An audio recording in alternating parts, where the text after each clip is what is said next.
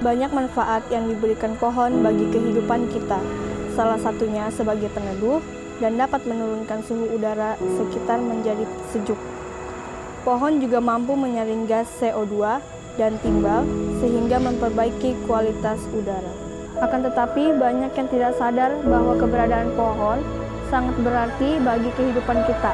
Sebenarnya, menanam pohon dan melestarikan lingkungan itu hal yang mudah, namun, kurangnya kesadaran manusia akan pentingnya melestarikan lingkungan, sehingga mereka enggan untuk menanam pohon dan menjaga kebersihan lingkungan. Akibatnya, udara menjadi panas, lingkungan menjadi kotor, sampah berserakan di mana-mana, dan semakin banyak polusi. Menanam pohon dan membersihkan lingkungan adalah salah satu cara untuk mengurangi dampak kerusakan alam dan memperbaiki paru-paru dunia.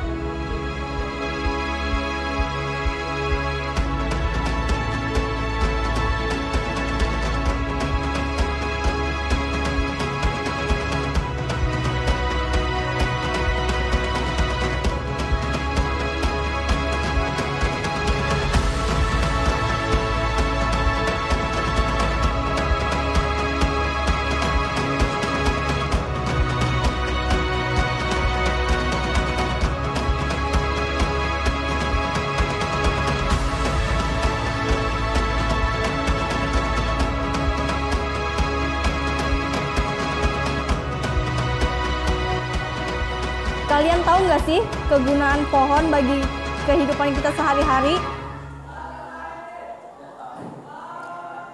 Pohon itu sebagai sumber oksigen dan dapat membuat suhu udara menjadi lebih dingin. Dan juga pohon itu sebagai tempat untuk kita berteduh.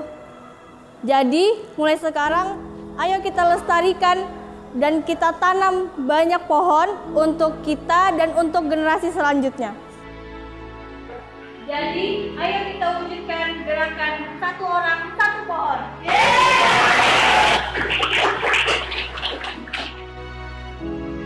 Akankah mereka mau ikut ajakanku dalam melestarikan alam?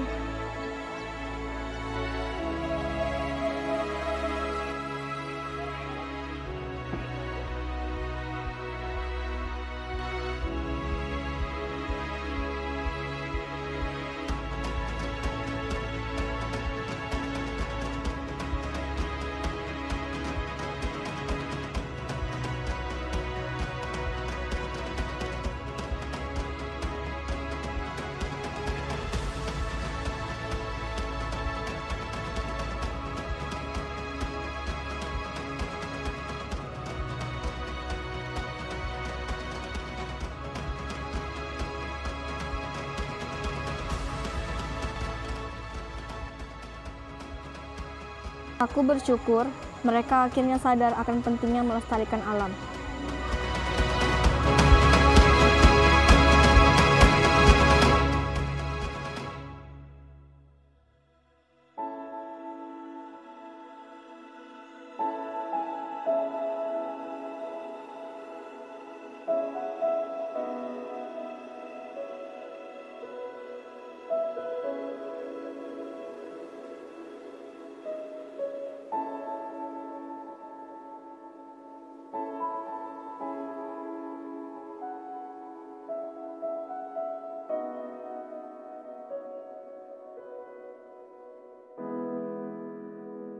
Mari kita menciptakan lingkungan yang hijau dengan gerakan satu orang satu pohon.